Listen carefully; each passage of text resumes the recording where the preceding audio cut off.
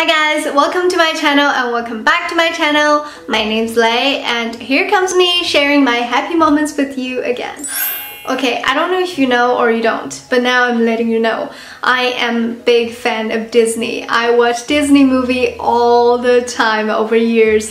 I love to see Disney collabing with any brand, especially beauty brand. So, you know, I would be the first or the second to queue up buying their products. Here we go. Today we're going to be talking about MAC and Aladdin's collaboration. Okay, I probably am the last person to test this collaboration on this planet, but you know what?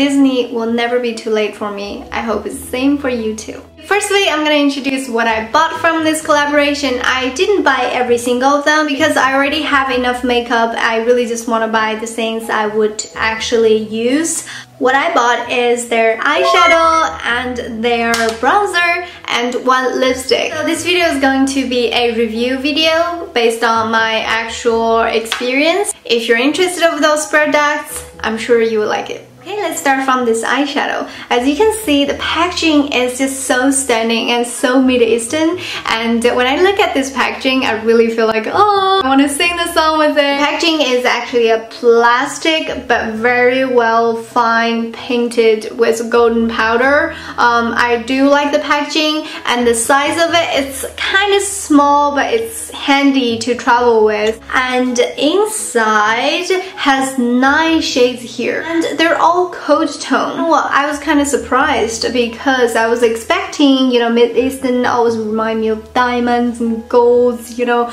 warm color. But surprisingly, no matter, you know, even the gold shade, it's still coat tone. Honest with you, in my mind, this kind of color is Princess Jasmine's color. Um, but you know, let's not say this palette is not good. I'm just gonna quickly show you some swatches right here and you can see these matte ones are really really nice.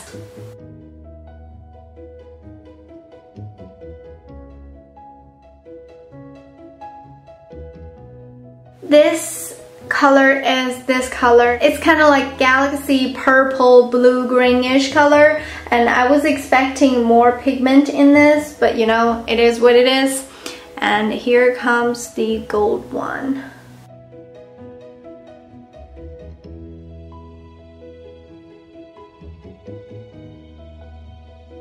My favorite color will be this pink one and the uh, this taupe one. This shade is darker on your skin than in the palette and then my favorite color will be in this middle one. I gotta say this palette is essential enough and uh, portable enough but I'm not really impressed with it. I don't think it is Aladdin enough but I still like it. Let's talk about this bronzer. I think among three of them I bought, I love this bronzer the most. There's a lighter shade and this darker shade. Fortunately, I picked this one because I need a bronzer immediately. I'm wearing it today. It's very natural, it's not over bronzered and it has a very fine shimmer in it. Uh, as my Physicians Formula coconut butter is gone, so this is the perfect replacement. Look at the packaging and color.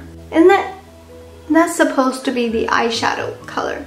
And then let's come to the lipstick. I'm wearing this lipstick now, shade New. It's a very bright and blue toned pink. It says it's a matte texture, but I feel like it's not that matte. It has moisture in it. it also released a nude color and a darker color, but this is what I feel like that's Princess Jasmine's color, you know? So that's why I picked it. And uh, when I bought it, I feel like, oh, I probably just gonna, you know, try this. You know, I'm not gonna be Princess Jasmine every day, but when I get the actual lipstick, I think I'll use it more because I really do like the color. I'm just gonna give you a swatch on my hand. Look. So yeah, that's some information about them. I hope they're useful for you. After all, I think this palette is perfect for some of you are looking for some connection with Disney, but also want something essential, not to boom, you know? And uh, this bronzer definitely recommend to everyone. It's not just for Disney fans to buy and to look at at home. It's actually very useful. Three of them, I recommend this most.